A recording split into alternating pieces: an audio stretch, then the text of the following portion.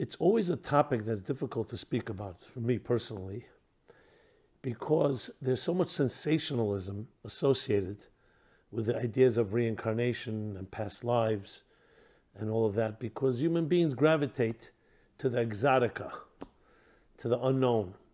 Some of us don't have control over our present lives and we're more focused on our previous lives. And I find that often it's more an escape, a type of crutch. If I know what I was like in a previous life, maybe it explains some things about my life. But in truth, though there's much to say, it has to be approached in a much more subtle and sophisticated way.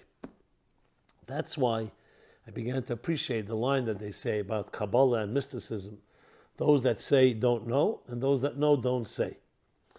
Because those that truly appreciate and understand Kabbalah and mystical teachings know that it has to be presented in a responsible way. It's not meant to be a drug or a crutch or something sensational, because then it defeats the purpose.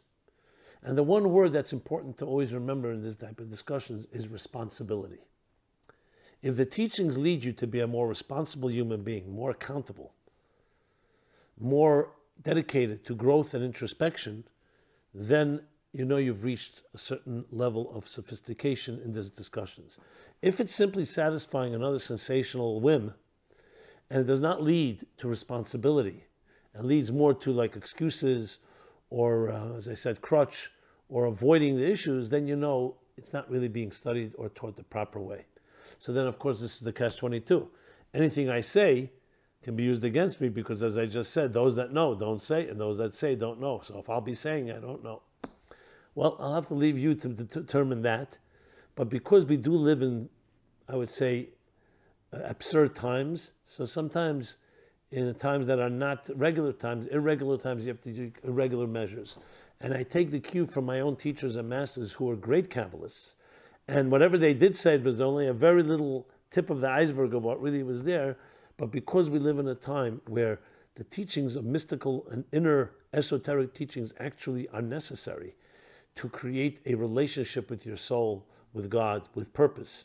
And with so many distractions, that's why a certain uh, license was given to address this, even though some may abuse it and some may misuse it, but still, because it can help people, we do speak about these ideas not necessarily in the full glory and also in a way that a person has to go and study and exert themselves and immerse themselves, but yet it is given to us. And there's actually an analogy from Rab Shneur Zalman of Liadi on this topic, where he was exactly that. His colleagues and uh, seemed to challenge his propagating and perpetuating the teachings of mysticism that was always reserved for the elite, for those that appreciated, for those that had really earned their right to enter the inner chambers of the mystical. And at that point, at that moment when they were speaking, a page of one of the mystical teachings of Hasidic teachings was seen on the floor. And the colleague pointed to Rav Shneur Zalman. He said, You see, it's on the floor. It's being abused. It's not even being appreciated. It should be held and cherished. And here it's just on the floor. So Rav Shneur Zalman responded. He said, he gave an analogy, a famous analogy of a child who fell ill, the child of a king. He was the only heir to the throne. And no doctors could not in any way find any way to heal him.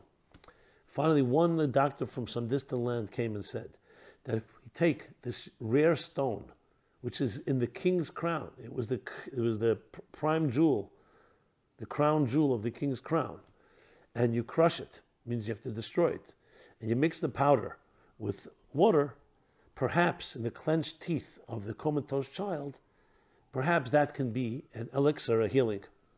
The, the king, without hesitation, what do I need the crown for? What do I need my kingdom for if I don't have my child? So even though much of it will pour on the floor, and only a drop may drop in, and only a doubt that may save the child, is worth it. We live in a spiritually comatose time, especially with the comforts of material life. We're distracted, and it's harder to be in touch with your inner soul. So we were given this license to be able to deep, dig deeper into these mystical teachings, into the crown jewel, and even though some of it may end up in uh, on the floor, meaning abused or misused, yet it's worth it because it may save a life, and literally save a life, and give us the vitality necessary to live passionate, exciting lives where spirituality is more important than materialism. As the saying goes, not that we are physical beings on a spiritual journey, but we're spiritual beings on a physical journey. And that's a perfect segue to the topic at hand, because we're going to be speaking about souls. What is life? So, if life is seen on a biological, scientific level as simply a uh, the heart beating, the mind working, and then death is death. Some call it the end. That, from our myopic view, may make, make a lot of sense. But it's a myopic view. It's from our little box. But those that understand that the soul is a far more complicated entity and one that was much more mysterious than we can ever know, realize that there's much more going on to the life journey. So the more you're aware of the soul, the more we can understand the topic at hand, which is past lives. So here's the, the question. Did we have, do we actually have past lives? Do you, were you here before? What are these premonitions? At times you meet somebody or you go to a location and, uh, and you have an encounter and there's a deja vu. Or you, sometimes you see a little child even. Seems like they have an old soul. You know, there's experiences, certain resonating truths. Where does that come from? Can we even identify past lives? And what impact does it have on our lives today? These are the key questions that need to be addressed. And those are just the beginning the questions go on in that ever never ending quest and curiosity of what really lies behind our life journey. And it's exactly that word that we need to be using, the operative word journey. A journey. So I've often spoken about this. People ask the question after a death, after a passing, where does the soul go to after it leaves the body? And it's always a difficult question to answer. Years ago, I had an epiphany. I realized the question itself is based on a false premise. And that premise is that we say, we're, here's where it's at, and we're wondering where the soul goes to. Maybe this is not where it's at. But that's our subjective, as I said, myopic perspective. We, we are where it's at.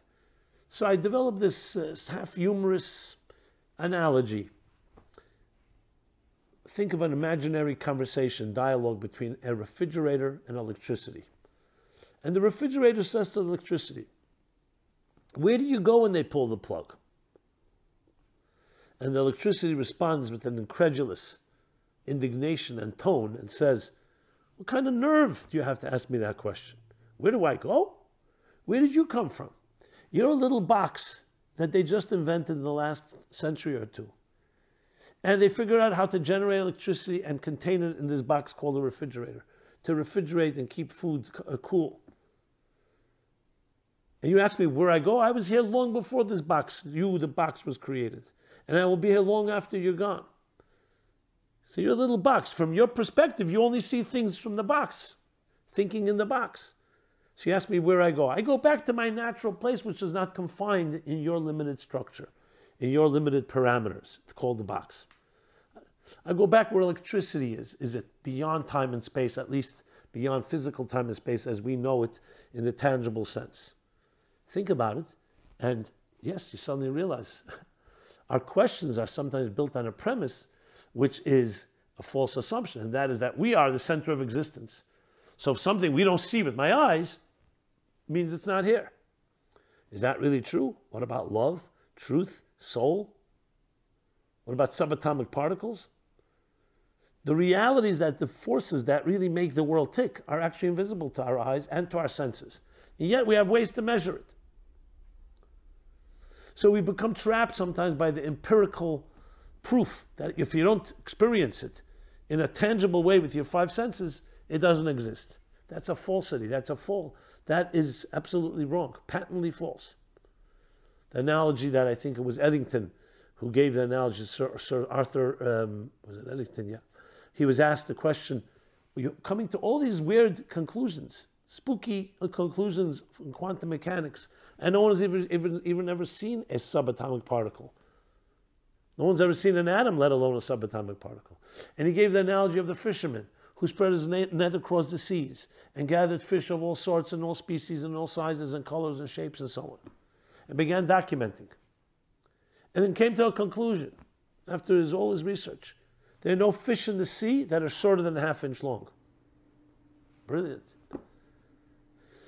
He was about to make the big announcement before the wizards of the world when his little daughter said to him, Let me see the net you used. They look at the net. The net had ropes with spaces that were half inch. So, what happened to all the fish that were shorter than a half inch long? You don't need to be a scientist to know.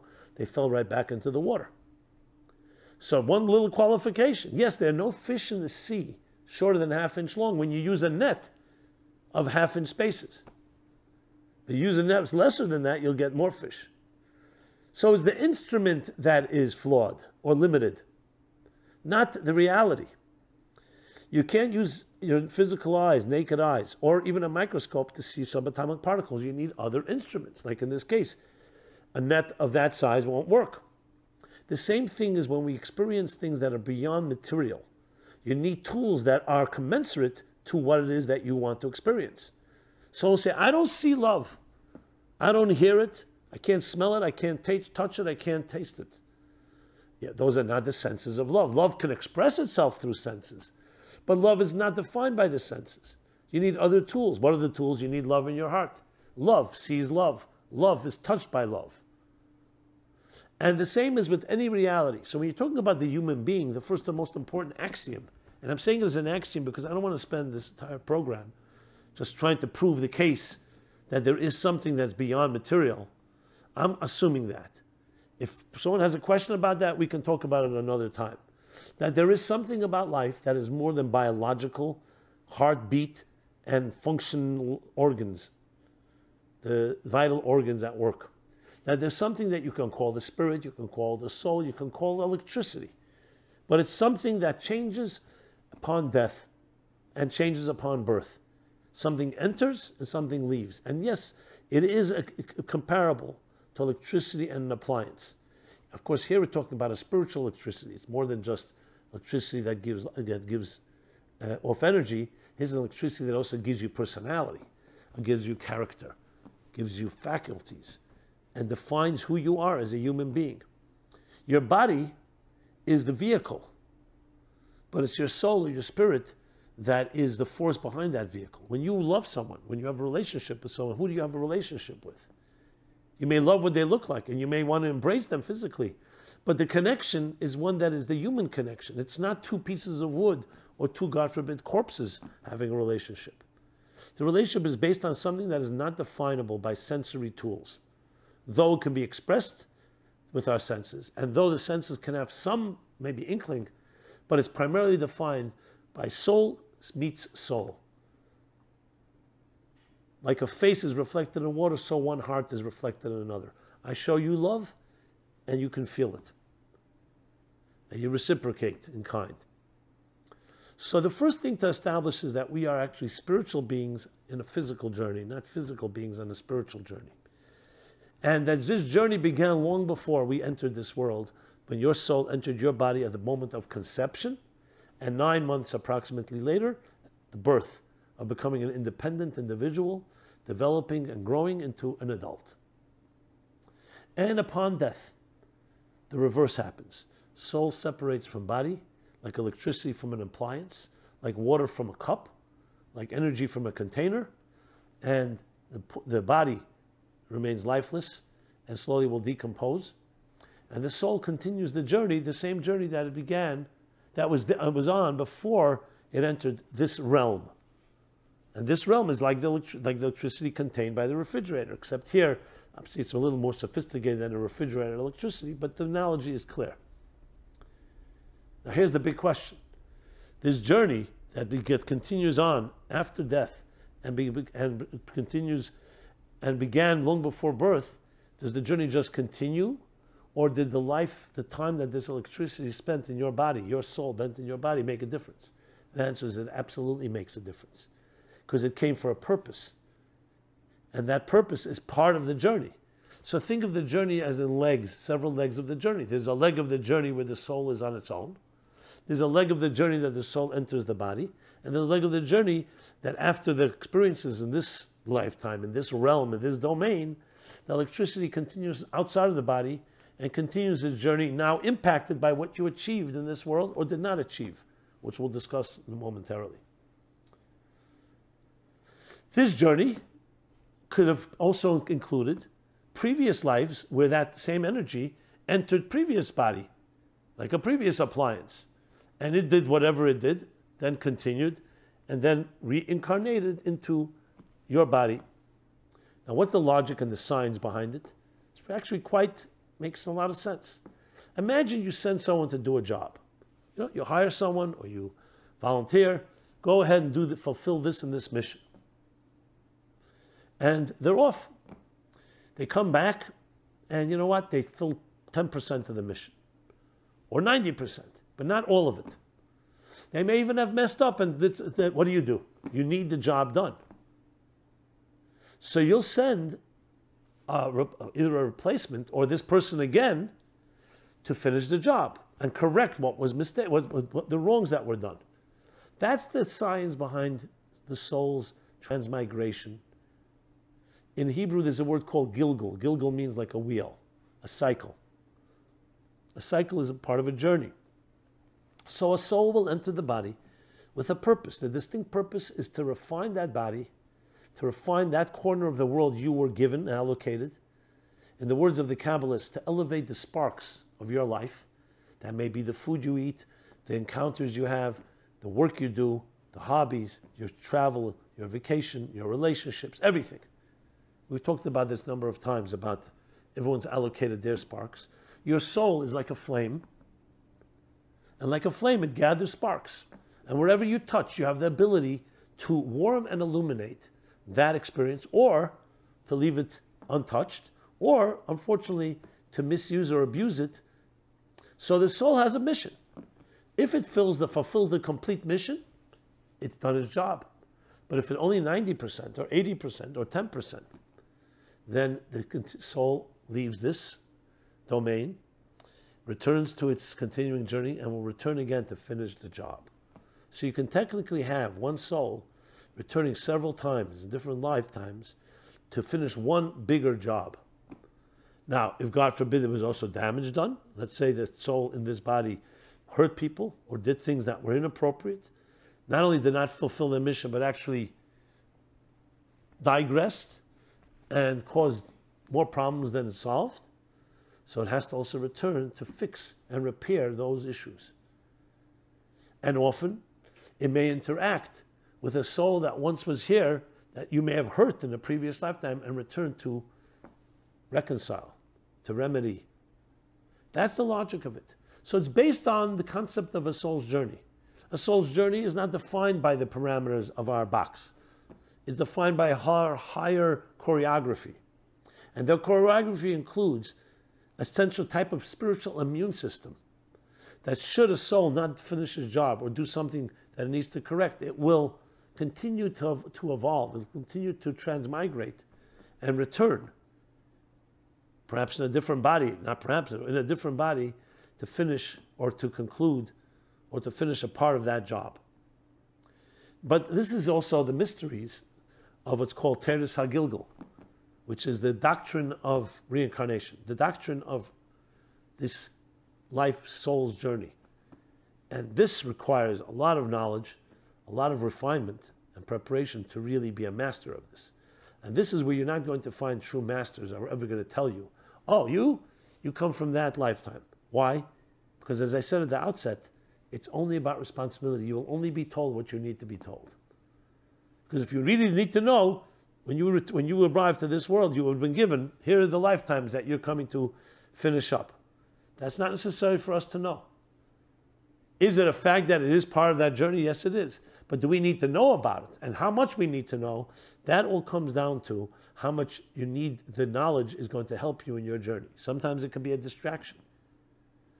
So the fact that we may have premonitions and we may have certain dreams or we may have certain experiences can be a reminder of that, but it's not something we are actually encouraged to pursue. I'm speaking on the topic because we want to talk about the topic itself. But is it something that we must pursue? Not necessarily. If you need to know, you will be told. It's based on the principle that you will be given everything you need to fulfill your mission. The most important thing is you're given life, you're given the opportunity. Are you going to use it? Do you need to know exactly what was done previously and what was missing and what was not necessarily? Just suffice it to say that whatever you encounter is part of your mission. And you have to do whatever it takes to make sure this time you realize it. In a way, you could even argue that if you were told, then you may ignore certain opportunities. Someone comes your way and asks you for a favor, you'll say, Oh, that favor was already done in a previous life. And we don't want to have that type of attitude.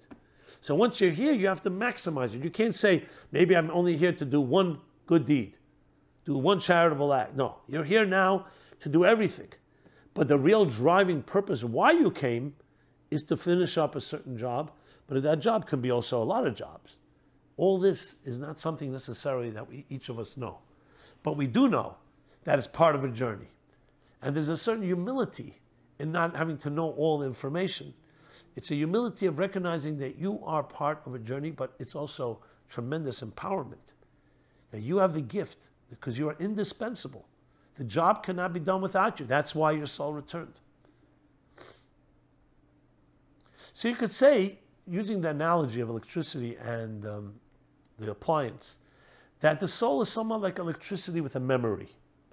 Because electricity in, an appliance is really passive and in um, and dispassionate and indifferent to what happens inside the appliance.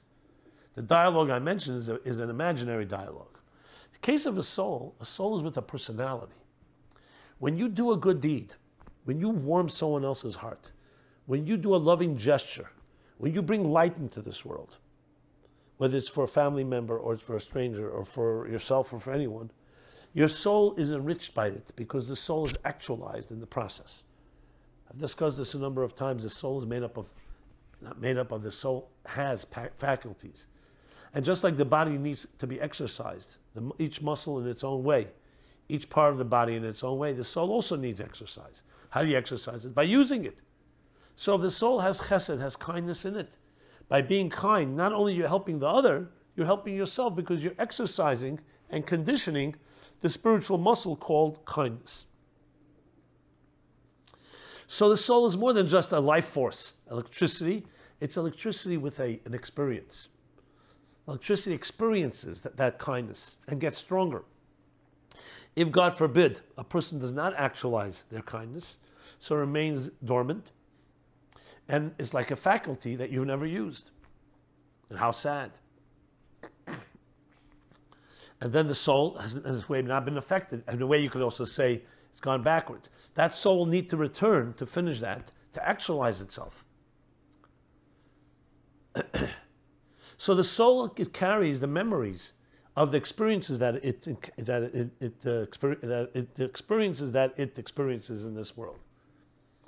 Memory is not just as a memory; it's in its so-called memory banks, and it defines the soul's journey as it continues on, both in satisfying and giving deep pleasure into the actualization of the soul when it does fulfill its part of the mission, and also the pain and the fact that the, the deprivation that it experienced by not fulfilling it.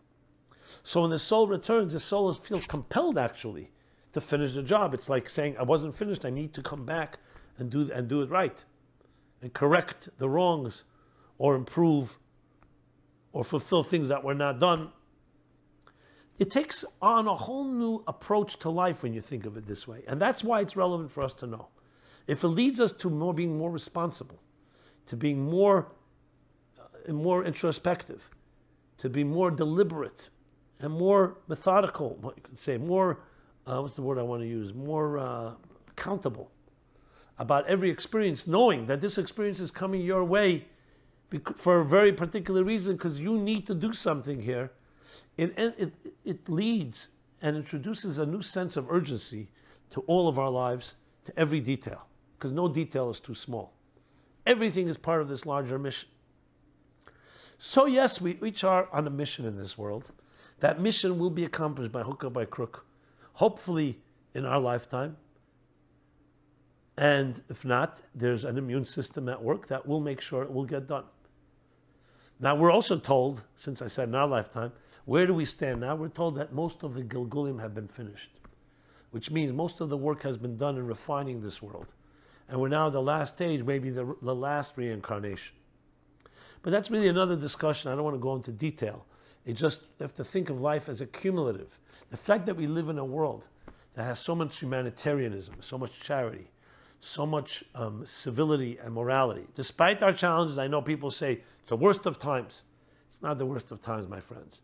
Less war, less violence, in every possible statistic, it's a better world. There's still work to be done. Individuals still can be horrible to each other. But overall, collectively, the cumulative positive energy has achieved a much. And therefore, we live in a far more peaceful world, in a world where we do not have to be afraid as we once were of oppression and aggression and so on. Still, I didn't say don't lock your doors. There's still things to be careful of. There's still, as I said, criminals and injustices. But cumulatively, the human race has done a lot in making this a better world. We still have work to do to bring the Messiah and to bring the world to its culmination. When the mission, so to speak, is accomplished completely, then the mission will continue on in its own way, which is again not the scope of our discussion. But the fact of the matter is, much has been done. So we are now, in a sense, what's called sometimes finishing the last fragments, repairing the last broken fragments of the shattered containers of the world of chaos, of Toihu, in our collective and individual effort of accumulating and elevating the sparks. That's where we're at. The words of my great Rebbe, our great Rebbe, said that we already finished refining and separating the sparks. But there's still work to be done to recognize it and to actually become aware of it and be consciously living that type of higher consciousness. So we have work to be done. In his words, we have to open our eyes to see these this progress and to live by it and finish the most important final frontier is our awareness of it that we're part of it. But I don't want to digress. I want to go back to the topic at hand. So yes, indeed, the life, the journey of life is one that is going on for a while, and we are one leg of it, and we know only a little part of that leg, even that which we're conscious of. Look how little we know. What do we know about the human body? This five, six foot frame, 100, 150, 200 pounds.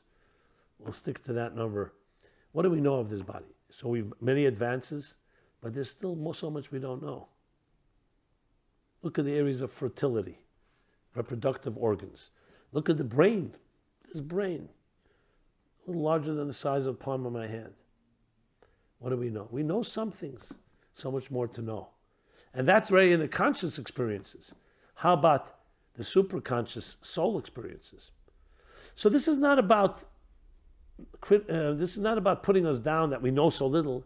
It's about recognizing that there's much bigger picture here, and you have the honor to be part of the bigger picture. I feel uplifted by that. I feel uplifted that I don't know it all, and that there's a higher choreography.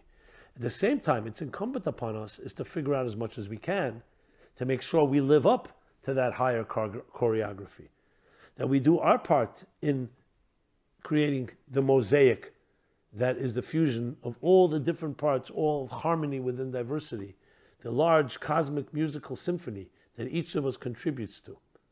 And each generation and each time they play the song, if they didn't play it completely, the soul will come back to finish the song or to correct the part of the song that it sang in the wrong way. It's so uplifting to know this. It means you are vital, you're indispensable, and you've returned in order to finish something but it's not just a trivial finish. This finish could be a major part of it.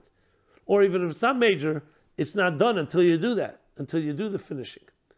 So it's very uplifting and very empowering to know this relationship with our past lives. Now, someone will say, it's very intriguing, but I really am curious about a past life. I really feel that I know this person, we both deja vu, connect. Or as I mentioned before, we see certain children have like an old soul. So I would suggest we don't have to pursue finding out exactly. If you do feel that, so fine, act on it. Have a special relationship with that person. If that child is that way, communicate. Maybe you'll find insights. Be kind. Let it translate into deeper relationships. It doesn't always have to become a quest of figuring out what exact previous life was in, in what century did I live, what country, in which world. I know we're very curious, and that's what we'd like to find out. But it may not be relevant.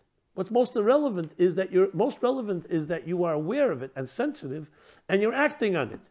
It should make you a kinder, more compassionate person, a kinder, gentler soul, knowing that you have that connection. And interestingly, I'll take it a step further. When you have that soul awareness and you're soul conscious, soul centric instead of body centric, spiritual centric instead of material centric, you know what happens? You begin to actually open up doors to previous experiences in previous lives because you begin to see and recognize the soul in others. And suddenly realize, you know, we have something in common. And let's do something together you begin to recognize not just coming your way, you begin to recognize deeper story of your life. You meet someone and you say, you know, it could have just been a business meeting, it could have been a casual meeting, it could have gone nowhere. But when you allowed yourself to think for the spiritual set of eyes, through, like I said, soul centric eyes, soul centric lens, then what do you come to experience? Maybe there's a reason we met. Maybe we can help each other a certain way. Maybe I'm here to do you a favor. Maybe you're here to do me a favor. Maybe we're here to join and perhaps our intersection is to bring a better good to, to others, to the human race. If you're constantly thinking of these type of spiritual opportunities, they come your way. And then you know what happens?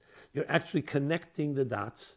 You're connecting the, the, the tying up the threads of the reincarnative, the transmigratory journey of the soul.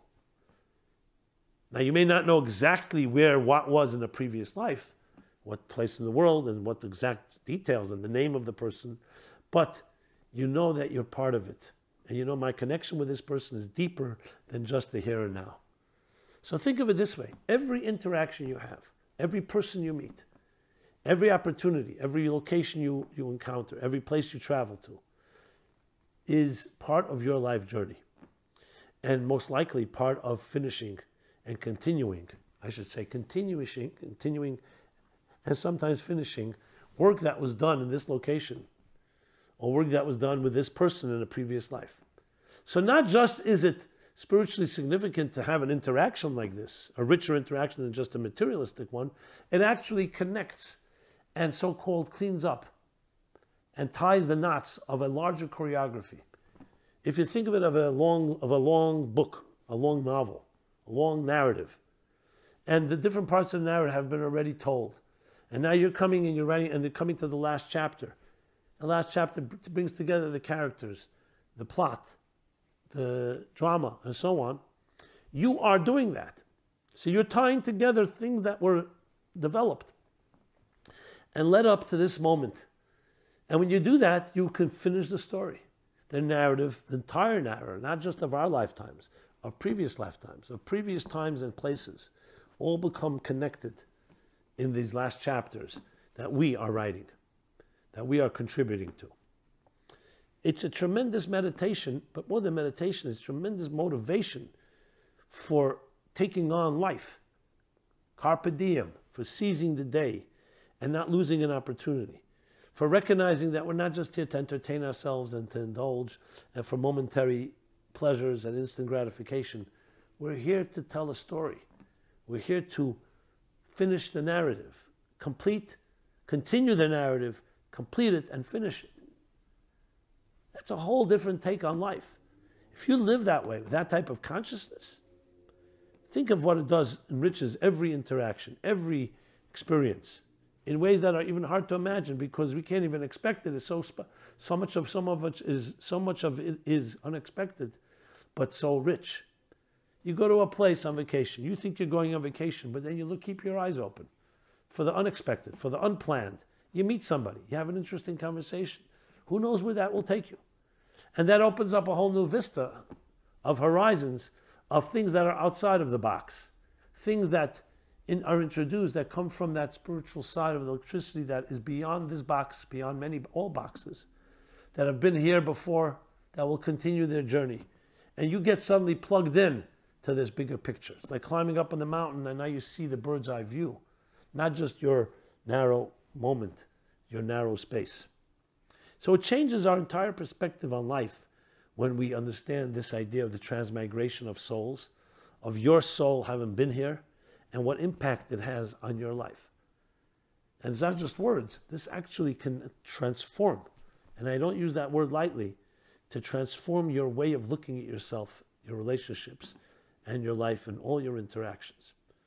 Because then everything, from the most trivial, just commuting, going shopping, tying your shoelaces, to the most significant, and everything in between, including your work and your meals and your travels and your finances and all that, all becomes part of a larger story. Some of it we're directly aware of, and most of it we're not. And so be it. You're now on stage in this long play. I use the example of a story, a narrative, a musical composition. You're doing your part. You may not know about all the details in the previous frames, in the previous um, uh, scenes of this long play, this long narrative. You may know parts of it. You know, may have a glimpse of it. The most important thing is you know it's there. And now you're coming to do your part. You're now on stage. This is your leg of the journey. This is your voice. What are you going to do with it? Are you going to squander the opportunity? Are you going to, God forbid, the opposite, ignore it and be distracted and do something else that's not part of this deeper narrative and you're calling a mission? Or, and of course, that's the, the what we should be choosing, that you will answer the call. You will rise to the occasion. You will sing your song and songs. You will continue the marathon, the story, the narrative, the music, the play that has been playing itself out. And you will make a mark, a positive mark that you and only you can make. And in doing so, you, you complete the cycle. So the concept of previous, previous, previous lives and past lives and past experiences, their cycle was not complete. That's why we're here. Now you may wonder, are there any souls that enter this domain that have never been here before? We're told there are. There are. But it's rare. It's called a, a new soul, a neshama chadasha. And those souls usually come to actually introduce something new and unprecedented, something pioneering. That's why they're new. This doesn't mean when we're old souls that we're like old and used car or used. That's not what it means. It means that our role is to continue the narrative. And doesn't mean we can't contribute. Doesn't mean we don't contribute tremendous elements to it. Because we can even go beyond our own so-called calling and do even more than necessary. But there are the rare souls from time to time that arrive that have their particular mission. But that's not a matter of superior inferiority. Each of us is indispensable. That's the bottom line. And that's why we're here. It's a tremendous, it's a remarkable take understanding of life when you see your life as this soul's journey, a journey that's been going on, a journey that continues to go on through you. And every moment you wake up in the morning, your contract is renewed. Your life is renewed with this mission. And of course, when I say mission, mission is far more than just one mission. We're blessed with, hopefully, with long life, with healthy years, and we're given those strengths because the mission is complex. The mission is multifaceted. There's many elements to it, many directions, many details to it. So that is our way of looking at life. Now there are books. There's a particularly the name of the, the Arizal. Isaac Luria has actually the great mystic of the that lived in the 15th century he actually has, um, 50, yeah, he has a book called Sefer Gilgulim, the Book of Reincarnation. Gilgulim again means cycles. He has also a book called The Gate of Reincarnation. These are very um, interesting books where he actually tells the students about different reincarnations, the previous lives that they come from. But they were at a level that they could and needed to hear it because they had reached a level that they needed to know more because they had already earned their way by being responsible and doing their job. It wasn't just sensationalism. It wasn't sensationalism at all, I should say. Now, in the Zohar, which goes back almost 2,000 years, of the Rabbi Shimon Bar and actually transcribed by Rabbi Abba, his student, there there's a, the, in the chapter, uh, Zohar is structured on the chapters of the Torah, on the chapter of Mishpatim, which we'll be reading in a few weeks. Elam Mishpatim, these are the laws. So it says these are the laws of Gilgulim, of reincarnation. There it's a little more cryptic, But I just wanted to say there are actual texts that talk about this at length. But it's advanced material because they don't begin by speaking about what exactly it is. They already talk about the more complicated dynamics of Gilgulim, of how it works exactly. But for us, what we should know and need to know is our soul is alive. Our soul is traveling and has been traveling and continues to travel. A soul is a restless flame, it never stops traveling. Not in our lives, and not before our lives, and not after. And that's why we also don't call it afterlife, which suggests after. It's the continuing journey, just in a different form. So, the one example you can think of it is if you think of taking water and liquid, you, you heat it, it turns into gas. You cool it, water. You freeze it, ice. It's the same entity in different forms. The soul continues its journey just in a different form. The lavush, the garment it has during this lifetime, its appliance is the body you know, but then it continues through other garments. It may t- turn from an ice liquid, which is much more a garment we can relate to, to a gas, which we don't fully sense or, or see, but we know it's there. So the soul's journey is a noble, majestic one, here going on for thousands of years, and we are merited and blessed to be part of that journey. And that's how we have to look at it. So, what are you going to do with that awareness, with that knowledge? And I rest assured that the more you do, the more you act on it, the more accountable you are, the more responsible you become, and not feeding into the sensational, more lower, lower common denominator, the more the secrets will be open for you. That's how it works. Because the secrets open up to the person who earns their way. The more you earn your way, like the Zohar says, that who can enter these higher lofty levels? Those that transform darkness into light and, and bitterness into sweet.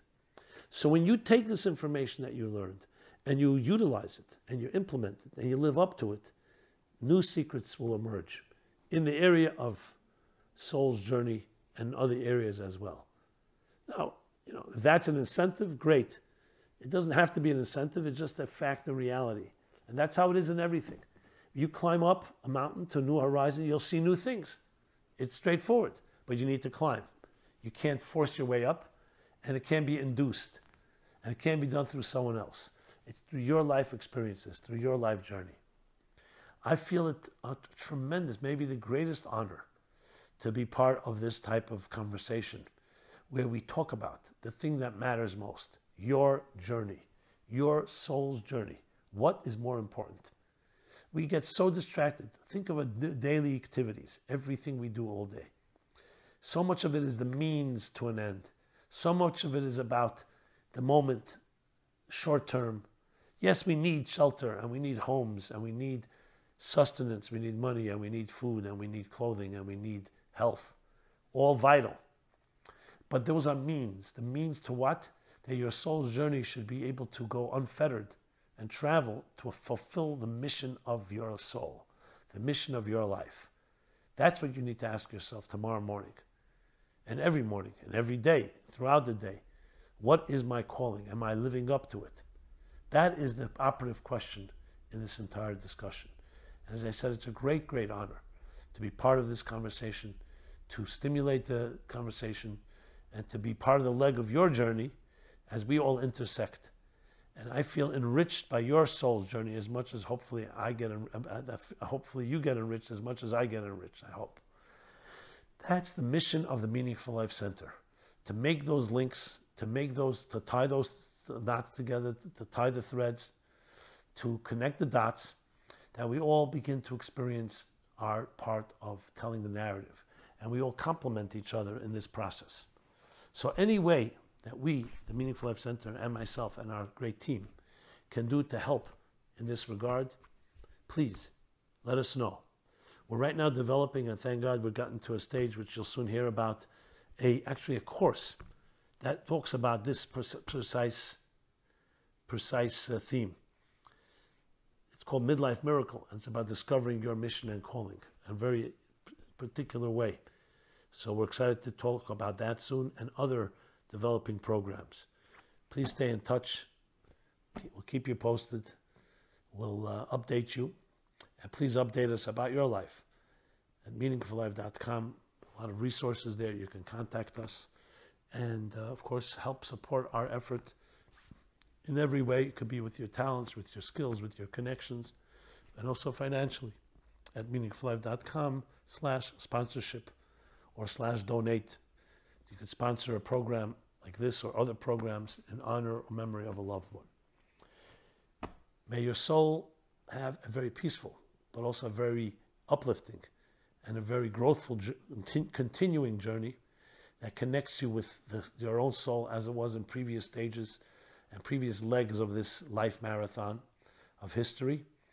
And may we all merit to share with each other good news and only good news in a revealed way.